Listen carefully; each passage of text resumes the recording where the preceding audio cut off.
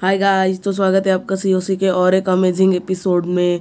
और आज मैं आपको टी एच एट से करने वाले अटैक्स का मतलब एक ही अटैक का रिप्ले दिखाने वाला हूँ।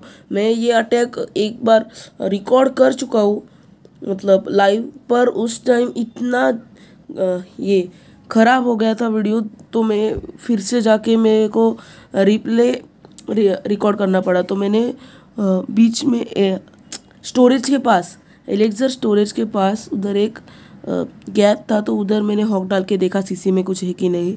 और मैंने कैनन को फोड़ा हॉक्स के साथ। और एक हॉक डाल दिया मैंने आर्चर टावर के ऊपर किंग को बाहर डाला और पेका को अंदर डाला। तीन विजार्ड्स बाहर छोड़े चार विजार्ड्स पेका के आ, मतलब साथ में छोड़े अंदर। और दो आर्चर्स थे वो भी किंग के साथ ही बाहर छोड़ दिए। और बाकी के सारे के सारे मतलब कितने अट्ठाईस हॉक्स है, वो सब दो उंगलियों से मैंने दोनों कैनन्स पे छोड़े। और एक हील मैंने लेफ़्ट साइड पे ड्रॉप किया अभी, और एक हील मैंने पहले एक पॉइजन ड्रॉप किया, फिर एक हील ड्रॉप किया।